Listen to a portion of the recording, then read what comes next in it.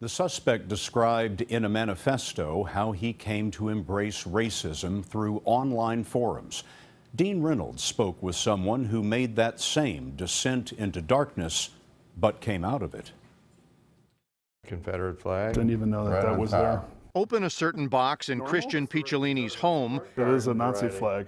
This and the first things to pop out are somewhere. painful reminders of his past, artifacts of his days as a race baiting skinhead. You were a skinhead for how many years?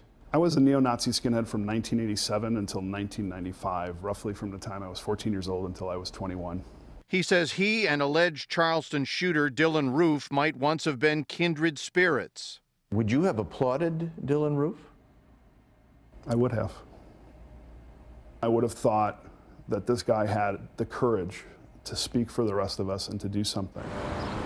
Picciolini grew up the son of immigrants in a blue collar suburb of Chicago. I was standing here smoking a joint, and the guy walked up to me and he just said, Don't you know that that's what the communists and the Jews want you to do to keep you docile? And I was like infatuated by this power. He had a shaved head and boots and thin suspenders on and I'd never seen anything like it. From that moment on, I wanted to be like that guy.